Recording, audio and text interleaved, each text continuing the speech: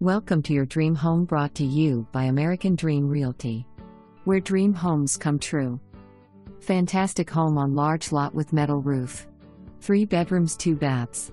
Split open floor plan with eat-in kitchen. Master with private bath, double vanities and walk-in closet. Oversized laundry room and pantry. This home has been extremely well cared for. Close to all amenities in the White Knoll area with Gilbert Schools. Permanent brick foundation, seller will make FHA/VA eligible. A must see.